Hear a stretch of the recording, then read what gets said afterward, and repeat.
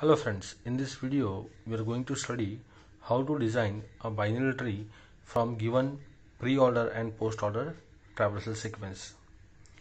Consider this traversal sequences are given to us pre-order and post-order. This question was asked in some examinations for 10 marks in university exams.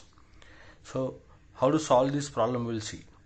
Now as we know in pre-order sequence the root node always comes at the beginning so it is very easy for us to get the root node from the pre-order sequence. So I can say that A is the root node of this tree. We'll draw this node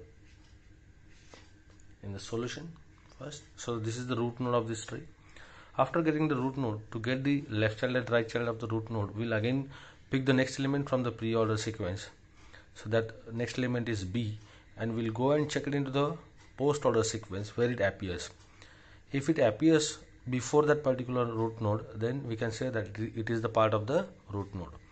Now we can see root node uh, b is appearing before node a. So i can say that b is the part of root node a. So where to place it? If root node does not have left and right child then we can put the coming element that is b to the left hand side of node then again after placing this node B again go back to pre-order sequence. Take the next element from the pre-order sequence that is node D. Again check it into the post-order sequence where it appears. It appears before node A also appears before node B. It means that I can say that node D is the part of node B. So it must be placed below node B in the diagram. And as we know there is no left and there is no right child for node B then the coming node D must be placed to the left hand side of node B. Here. Okay. Then again pick the next element from the pre-order sequence after node D. It is node E. Check it into the post-order sequence where it appears. It appears before A. It appears before B. It means it is the part of node B. It appears immediately before B it means it is the part of node B. Now go and check it into the diagram. Node B's left part is already occupied. Whenever the left part is already occupied the coming element must be placed to the right side then. So we'll place it into this diagram. Node E appears towards right side of node B.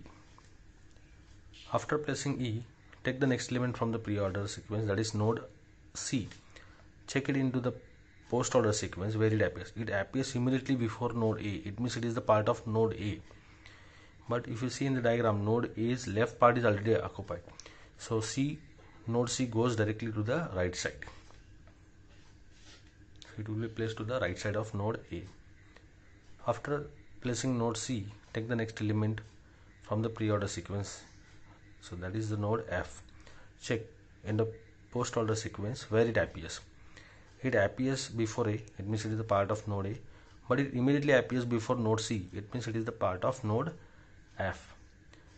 Node C does not have left and right child in the diagram if you see here. It means that node F must be placed to the left hand side of node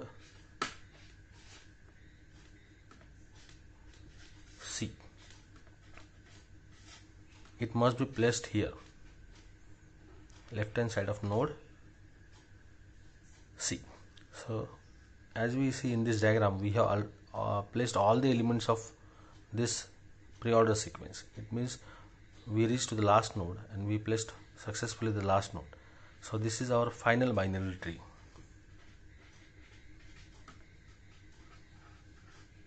To check whether this uh, binary tree designed by you is correct or not, we will go back and traverse the entire diagram this binary tree into pre-order fashion and post-order fashion. And if you get the same sequence like this given in the problem then we can say that the tree designed by you is correct otherwise the tree designed by you is wrong. So right now if I traverse this tree in pre-order fashion and post-order fashion I'll get the same sequence like this. So this is the final binary tree. This way we can design a binary tree from given pre-order and post order traversal sequences. Thank you for watching the video.